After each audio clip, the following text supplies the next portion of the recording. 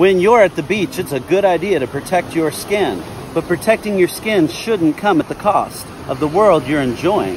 And that's why it's a great idea to get Reef Safe sunscreen. Reef Safe sunscreen is safe for you even when you're not at the beach because it's mineral based. These minerals produce an actual physical block from the sun, kind of like wearing an umbrella on your skin all day long. And even if you're not at the beach, you can still wear these because they're safer for you. A lot of the chemical-based sunscreens have been associated with skin cancer recently. And while they continue to run tests and see what those correlations are, I prefer not to be the guinea pig on it.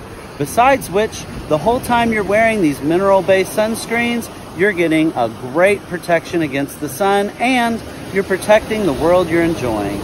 So be sure to responsibly protect your skin against the sun. I'm Jason Winningham, and this has been your Green Tip of the Week.